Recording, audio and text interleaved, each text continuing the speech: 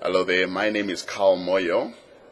I work for DuPont, a science company, and uh, I come from Johannesburg in South Africa.